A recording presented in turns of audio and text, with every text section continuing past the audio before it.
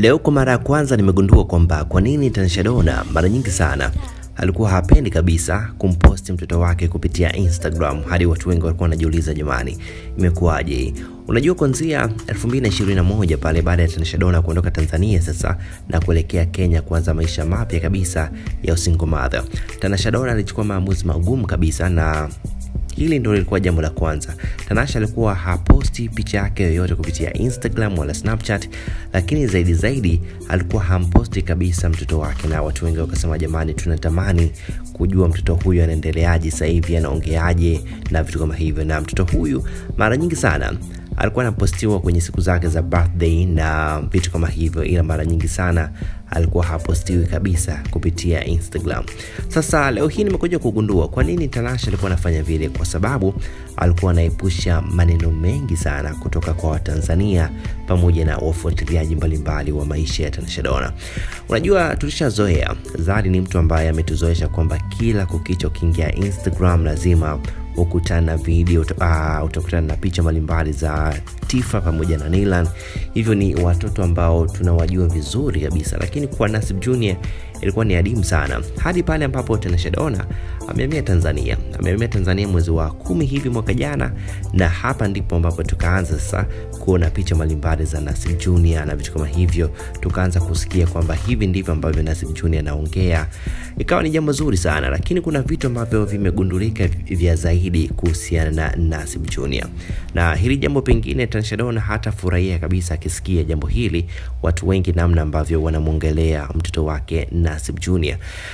Kuna video moja hivi ambayo aliposti mama Diamond Platinum siku ya juzi, na hii video inaonyesha Diamond Platinumz akiwa kitandani pale na Tifa na Taraji, na huyu ni mtoto wa Esma Platinumz, na huku pembeni tunamwona Nasib Junior. Nasib Junior alikuwa na wivu sana, hataki kabisa Tifa akimuhagi Diamond Platnumz. Kitendo cha msanii Diamond Platnumz kumhag Taraji eh, ni jambo ambalo Nasib Junior alikuwa hataki kabisa, na anawambia baba, sitaki hawa watu wa kuhag.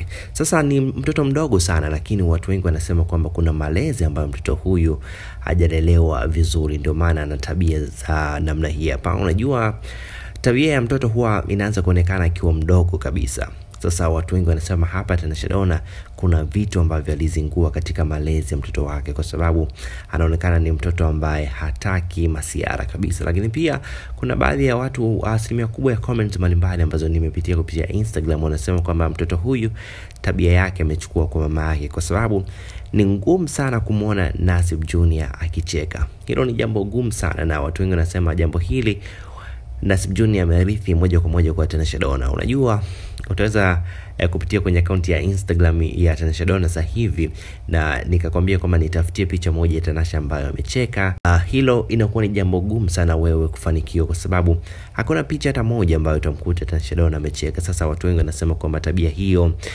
Tanasha Donna amemrithisha mtoto wake. Unajua, Nasib Junior yuko serious sana. Kuna muda anatumia simu na vitu kama hivyo, atacheka na Diamond Platnumz peke yake. Kuna vitu ambavyo anavyo, watu wengi wanasema kwamba hizi ni tabia mbalimbali ambazo Nasib Junior amerithi sasa moja kwa moja kutoka kwa Tenshedona na hapo itabidi aweze kubadilika. Hilo ndio jambo ambalo linaongelewa sana ya kupitia Instagram. Sasa mimi nawaza kwamba itakuwaje Tenshedona akisikia maneno kama haya kwamba amemrithisha mtoto wake kuwa serious, kutocheka mara kwa mara. Ni tofauti kabisa na watoto wengine wa Diamond Platnumz, kwa mfano wakina Nila na wakina Tifa, mara nyingi sana wanakuwa na vibe ya kucheka na vitu kama hivyo, lakini kwa huyu imekuwa ni tofauti kabisa. Basi hapo chini tukutane kwa pamoja, na utaweza kuandika komenti yako yoyote. Mtangazaji naitwa Hansi David HD, nikushukuru sana na nikutakia siku njema rafiki yangu.